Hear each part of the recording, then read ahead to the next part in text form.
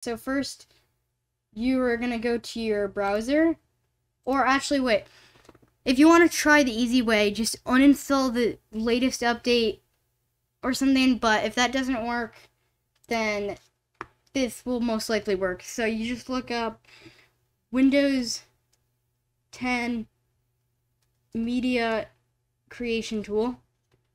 And right here and just download it, which I already have it, so let me just go to my File Explorer and I'll get it right up. So you want to click the Media Creation tool up here.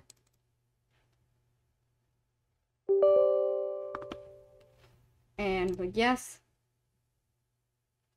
Then this will show up.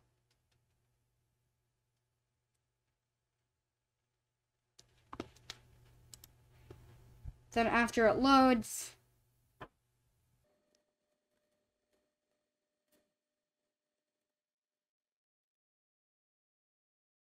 then after this loads up, just, um, you can read through this. I already have, so just accept, and then you gotta wait for this to load.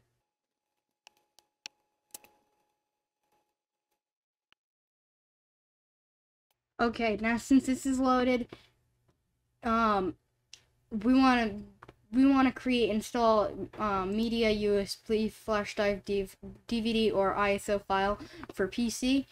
Um, so click next, and then that's the recommended settings. Put on your settings like if you have 32-bit or 64 or both.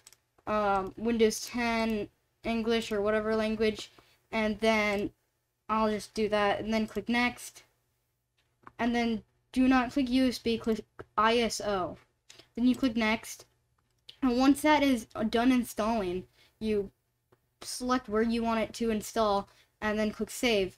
I already have it installed, so I'll just show you what to do next.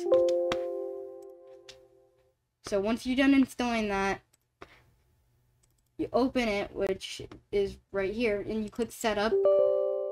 Click yes.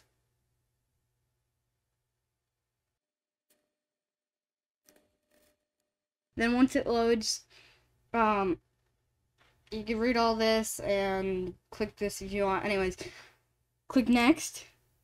Getting updates, it'll it will say getting updates, then installing and all that. So just once this is done, your screen should go blue once it's all done.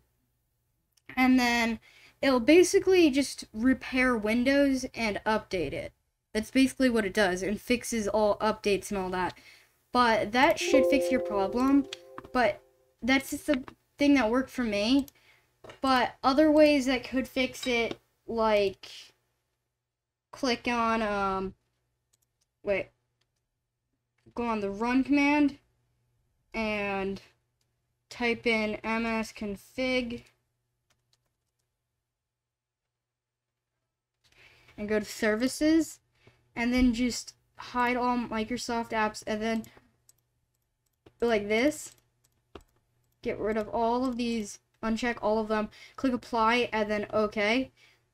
Um, I already did that, but uh, then you restart your computer, and what that basically does is gives you a fresh boot that could fix your problem.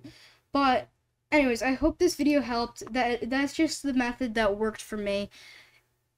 There's plenty of other videos out there if this did not work for you and in worst case just reset your computer but a lot of the times it's not going to come to that